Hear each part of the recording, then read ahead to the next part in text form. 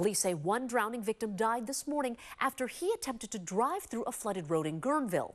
In Santa Rosa, the body of a man was recovered from a rain swollen creek. Both cities have received more than nine inches of rain since Wednesday, and there is still more weather on the way. ABC 7 News reporter Cornell Bernard has more now from the North Bay, where first responders have a warning for everyone. Our message to the public is turn around, don't drown. It's a motto first responders use all the time. But on Saturday, the driver of a compact car drove into flooded Mays Canyon Road in Guerneville. Right around 11:30, a call came in from a person who saw a car bobbing in the water. The floodwater six to seven feet deep.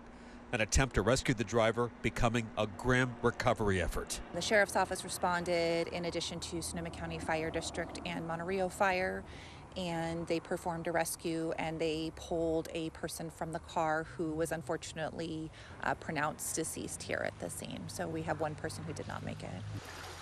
In Santa Rosa, the body of a man was recovered in Piner Creek Saturday alongside a popular hiking trail. I hike here, walk here, and I've never seen the water that high.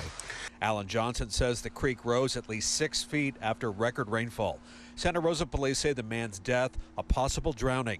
It's unclear how the victim got into the creek. More than a foot of rain slamming Sonoma County in three days, causing the Russian River to flood in spots like this mobile home park in Forestville.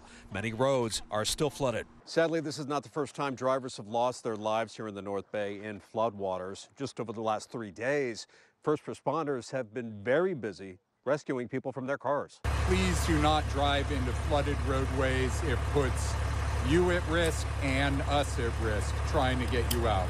On Friday night, the driver and passenger in this Jeep had to be rescued on Slusser Road in Forestville, which was closed due to flooding.